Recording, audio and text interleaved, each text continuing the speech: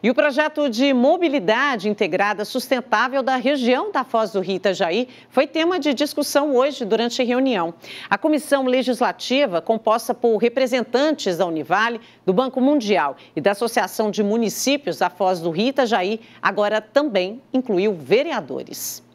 Agora, o plano de mobilidade urbana da Foz do Rio Itajaí, a ANFRE, vai ter mais um grupo incluído: os vereadores das cidades da região, que vão poder participar ativamente das discussões sobre as obras que estão sendo projetadas para o futuro das 11 cidades vizinhas, como obras de macromobilidade em Balneário Camboriú o sistema integrado de ônibus intermunicipal só com veículos elétricos, que contará com corredores exclusivos, e o tão esperado túnel submerso, que vai ligar Itajaí e Navegantes. Todas alternativas para melhorar o trânsito na região, mas que dependem de dinheiro e da aprovação também do legislativo de cada uma das cidades que entrou no consórcio e vão ter que contribuir para pagar o investimento num prazo de 25 anos. É preciso que a gente tenha conhecimento e que tenha tempo hábil para discutir,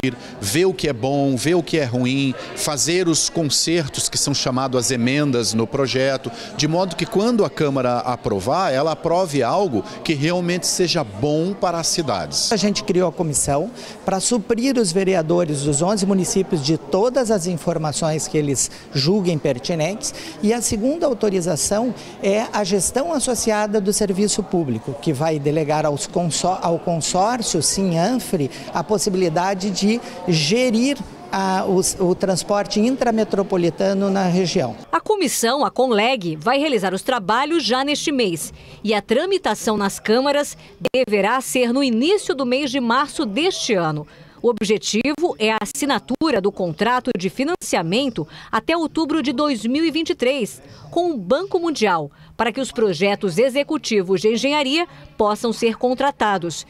A obra que vai demandar mais trabalho é o túnel submerso, que vai ligar as cidades de Itajaí e Navegantes. Deve demorar essa obra pelo menos cinco anos para ficar pronta. É um projeto lá para 2029. Já o transporte coletivo integrado, com ônibus totalmente elétricos, deve sair do papel já a partir do fim do ano que vem. Então também são projetos que vai depender de aprovação do Legislativo, daí a razão pela qual é importante trazer o Legislativo para conhecer